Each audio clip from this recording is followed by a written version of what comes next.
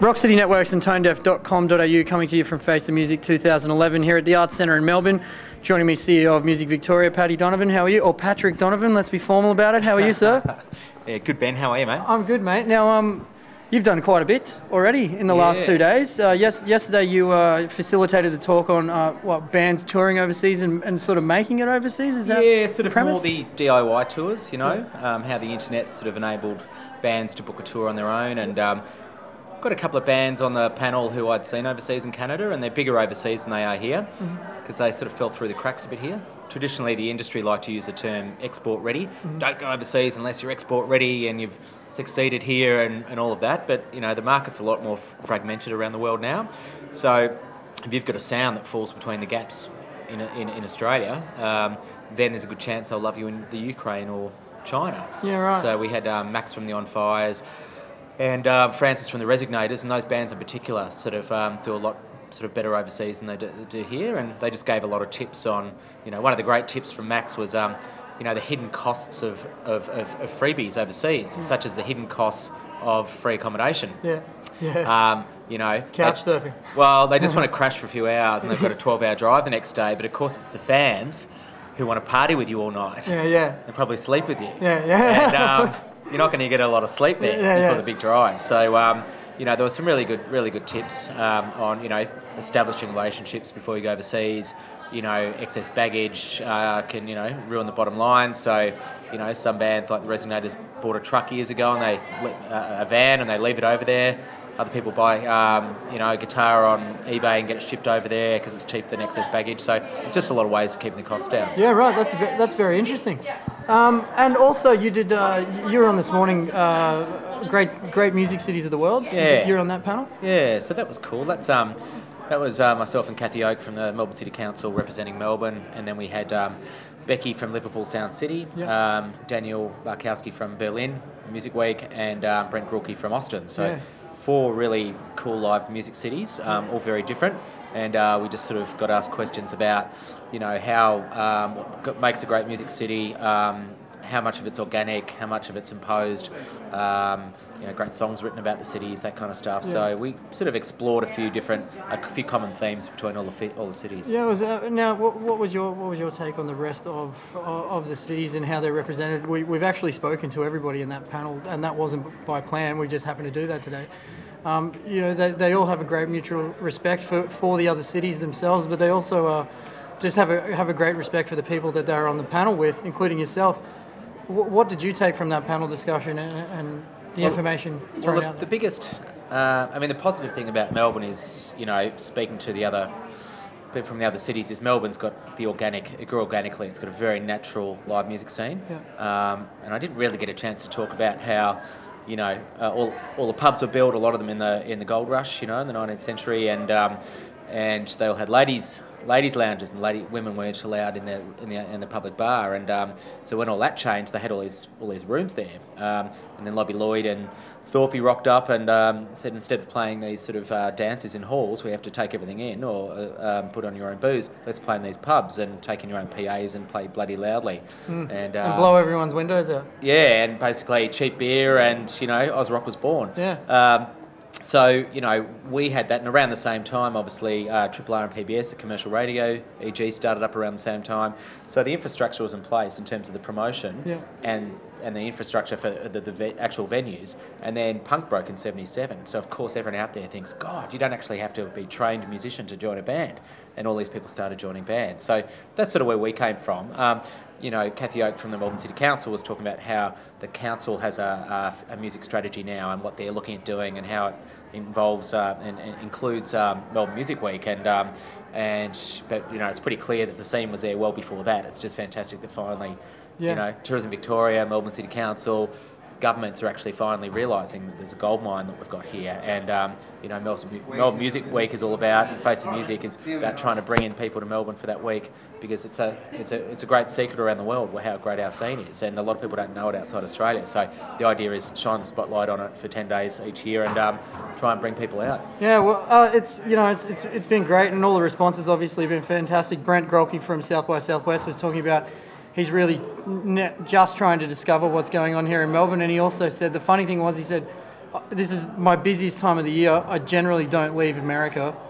I only left because it was Melbourne when I got offered, you know, to come over and speak. So I think that speak, speaks in leaps and bounds for the city of Melbourne. Now, um, you've got you've got a few other. What was the panel you just stepped out of? I, I'm I losing just, track, um, man, because you've done so many of them. Yeah, I just did uh, Ted Gardner. Yeah.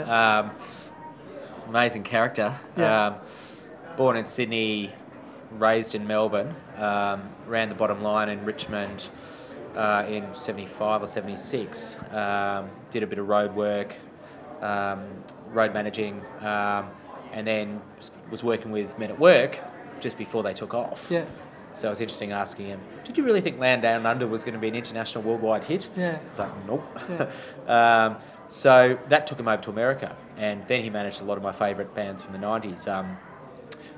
Jane's Addiction and Tool and um, and The Verve and The Other and uh, Brian Jonestown Massacre and uh, they're all crazy. Those Yeah. bands are crazy. You know, like uh, the lead singers are really eccentric and um, all sorts of sort of uh, issues with some of those bands. Managing the unmanageable, you know. So Yeah. it was fantastic hearing him talk about all that. And it was fairly accidental for him that you know he went over there with uh, with business um, with midnight. Mid, uh, sorry. With men at work on business as usual, and um, you know, first job over there was with Frank Zappa. So, told a lot of great stories. Um, and then he moved back in 2007, and now he's working with some sort of local prog bands Yeah. and ins- excited by the sort of new social media and the new sort of um, new business landscape. So um, yeah, it was great that he's back in Melbourne, and you know, interesting to see how much to hear from him how much Melbourne's changed Yeah. in 25 years. I bet it has too. Yeah. Um, now, what's we won't keep you too much longer because I know you have prior engagements. Uh, so thank you for giving us your time. My pleasure. Um, what's happening with Music Victoria over the next 12 months? We'd like an update on that, please. Okay, well, uh, oof, we've just finished. We're coming towards the end of a really intense period,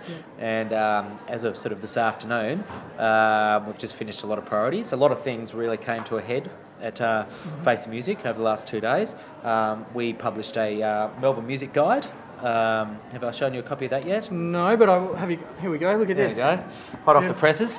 So, um, look, I went on a fact-finding mission to Austin, Texas in Yeah. March, and um, basically, Austin and 20 years ago, Austin and Melbourne were considered two of the great music.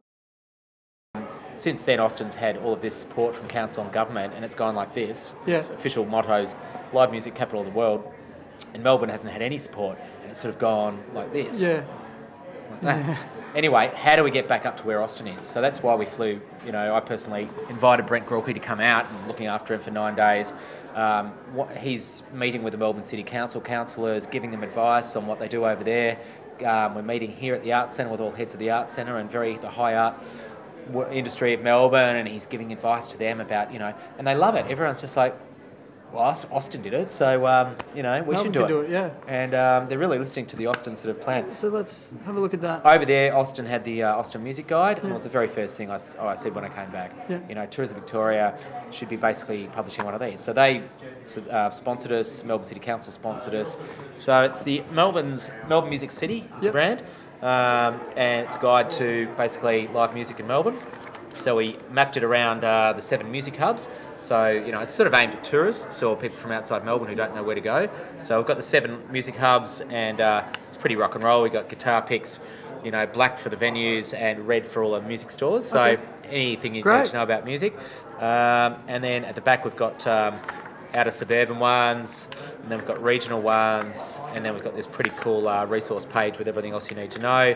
And then we've got uh, music-friendly hotels. Wow, mu- that's fantastic. Music festival calendar, slam rally, and Melbourne music timeline. So that's you, just sir. hit the streets. So we we, we, just, we got some some support for that, and um, we really wanted to get it done. So 500 delegates who have been here, we've given it to them all, so they've got somewhere something to show them around. Yeah. So that's come to a head.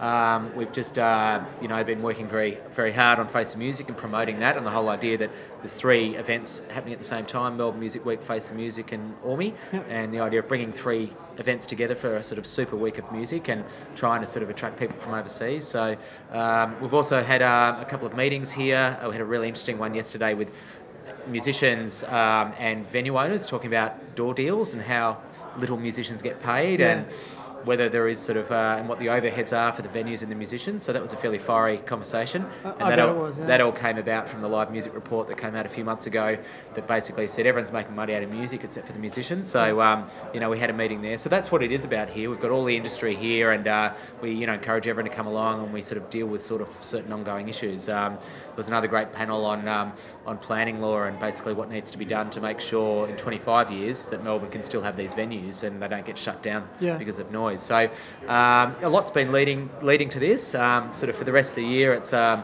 tying tying up a few loose ends and. Um, preparing for next year, um, but we've got a two-year strategic plan. So um, you know we're going to be doing uh, going, going to be doing a whole lot of things. But I suppose I'll just sort of I've just finished a whole lot of work, and um, we're really You need happy to go relax. that. And then we'll just poof, finish off the year, and then sort of start again next year. But um, you know the government has basically said we've got to October to be um, work towards self-sustainability. So one of the big things we're going to have to look at is um, actually bringing in, you know, increasing the membership getting um, you know our message out there so everyone knows who we are and what we do, and actually look at sort of um, bringing in some sponsors. Um, so you know that's that's that's going to take up a fair bit of time early next year. Well, Um, I've, I've no doubt that uh, Music Victoria will achieve that with uh, you leading the charge, my friend. But uh, on that note, I think we should let you go. all right, mate. Because so, you do have things to do. Yeah, and the mu- uh, the website's musicvictoria.com.au. We'll put that up there. Keep an eye out for the uh, Melbourne Music City Guide around town, and there's also a um, a uh, downloadable um, uh, version that you can get from the Music Well, Victoria website. We'll, uh, we'll put the links up, make Yeah. sure and direct everybody there. Thank you so much Cool. for my little book that I get to go and uh, you, get to use. Patrick Donovan, CEO of Music Victoria. Always a pleasure to have you uh, on the couch or wherever we end up finding you, uh, or you finding me, vice versa.